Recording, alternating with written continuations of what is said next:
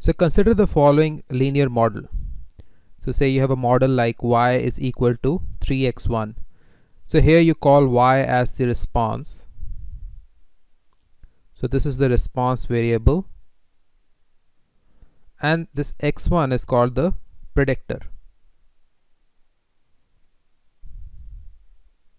So say you set x1 as 2 then the value of y would be 6.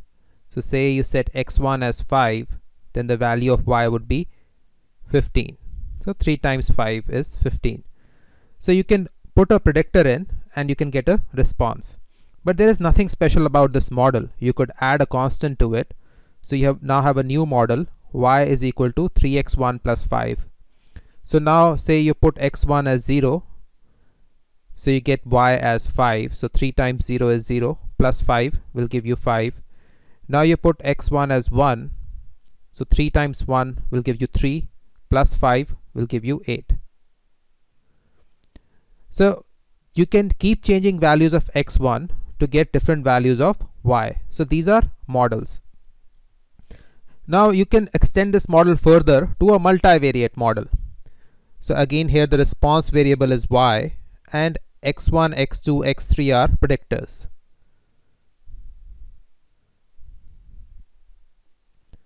So all of these are predictors.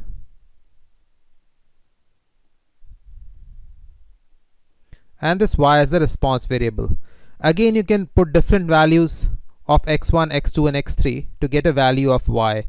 For example, say x1 you put as 1, x2 as 0 and x3 as 0. So this will give you y is equal to 3 times 1 is 3, 5 times 0 is 0, 0.3 times 0 is again 0, plus 10, this is 13. So you put 1, 0, 0 in, you get value of y as 13. So these are all linear models. So there is no power of x1 or x1 and x2 are not multiplied with each other.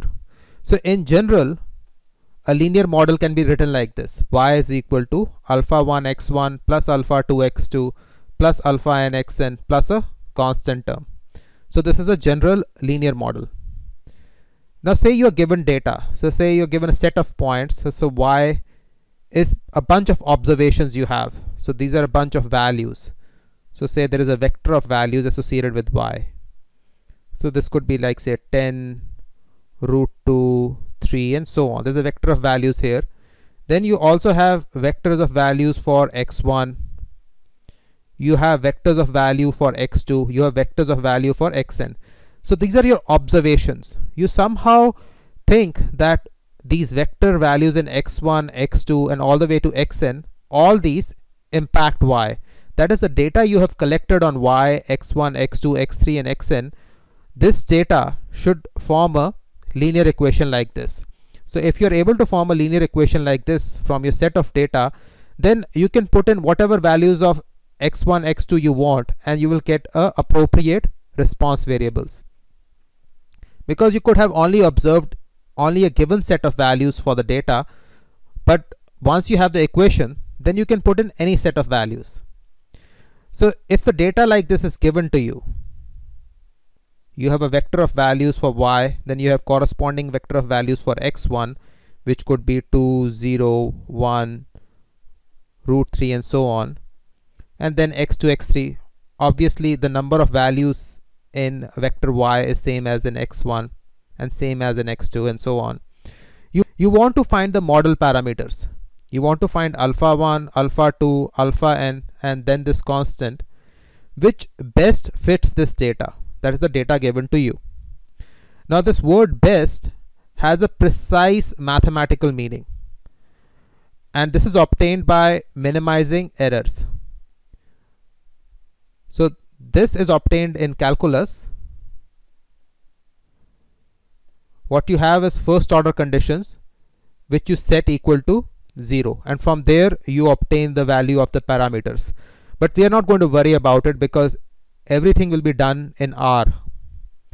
So let us first see how to read the data into your system. So my data is the data which you want to read in the system. You're going to read a table and this is the location. this is the location where the file is. And this is the file. And this entire part is the location. So this is a website address. You could give your own uh, address for your own drive. So say it is in C drive you give the address and in the end you write the file name. Notice that you have forward slash here so this is a forward slash. And in the website you will see if you enter the address it is a backward slash. So rather than copy pasting the website address you have to change the slash. So keep this in mind.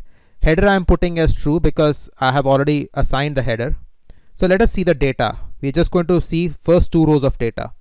So this is row 1 of data and this is row 2 of data so data is just this y x1 and x2 so corresponding to y, you have bunch of values of x1 and you have bunch of values of x2.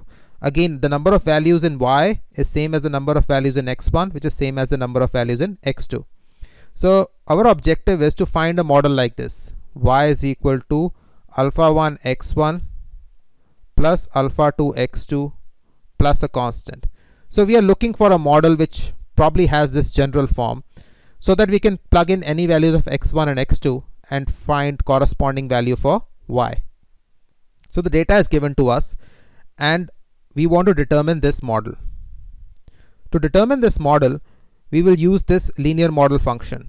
So this is the command my data dollar $y. This is a tilde sign.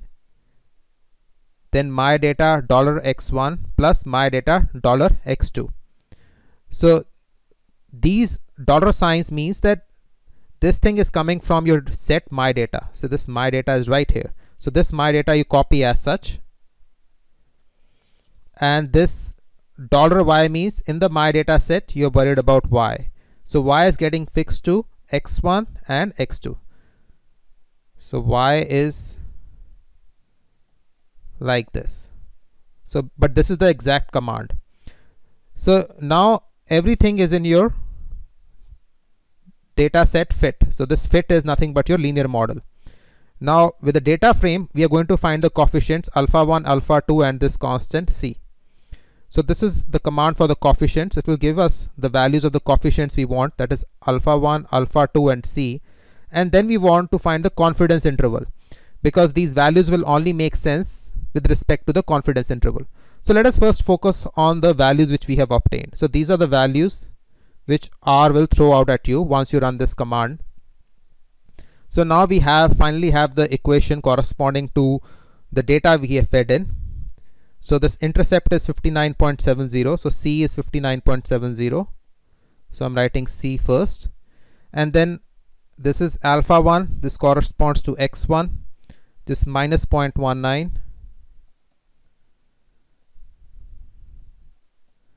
then you have 0.99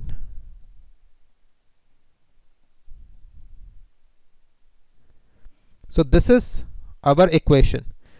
But the fundamental assumption in a linear model is that when you are minimizing these error terms you assume that these error terms are normally distributed. So these error terms these are normally distributed with some mean mean is 0 and variance is sigma square so that mean is 0 and variance is sigma square. So these values are not deterministic. These are values coming from a distribution. So these are values coming from a distribution. And more precisely coming from a normal distribution. So we need to focus on whether these values are statistically significant that is are they statistically different from 0 so notice that this value minus 0.19 comes from the confidence interval. So this is 2.5 percent to 97.5 percent. So that is minus 0.19 this is statistically the same as any of the values in the interval minus 1.5 to 1.11 similarly here 0.99 is same as any of the values you take from the interval 0.15 to 1.83 now notice that there is 0 in this interval because it goes from minus 1.5 to 1.11 so this model is statistically the same as y equals to 0 times x1 plus 0.99 times x2 plus 59.70 so again 59.70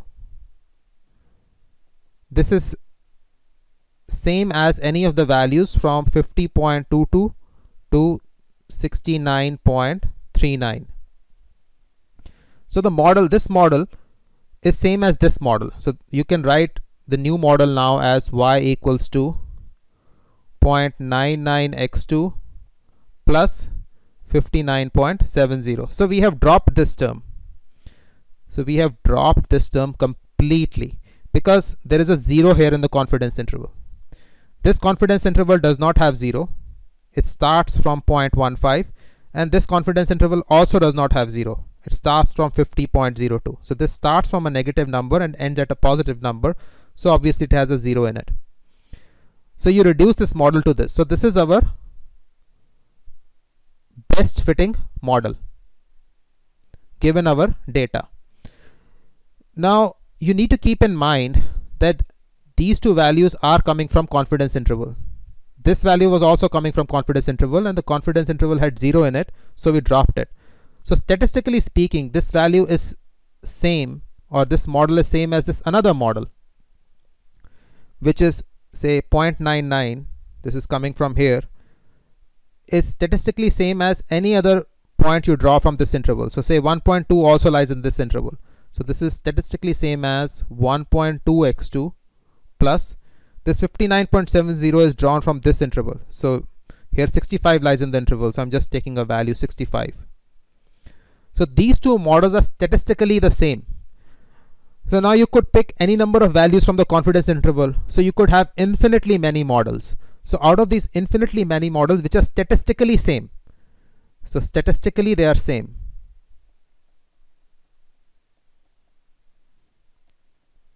We choose the model which is given here. That is these points are nothing but midpoints of the interval. This 0.99 is the midpoint of this interval and this 59.70 is midpoint of this interval. That is 50.02 to 69.39 midpoint of this interval is 59.70 so you choose the midpoints of the interval because otherwise you could have infinitely many intervals so the best fitting model is this given for our data so again to recap, you run the command, you first get a model like this. So this is the model which minimizes your errors.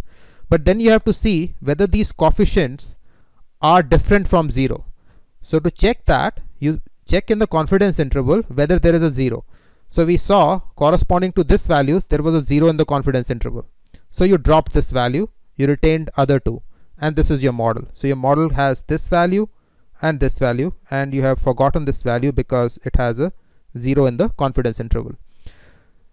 So the end of the story is you have been able to get a linear model corresponding to the data you have.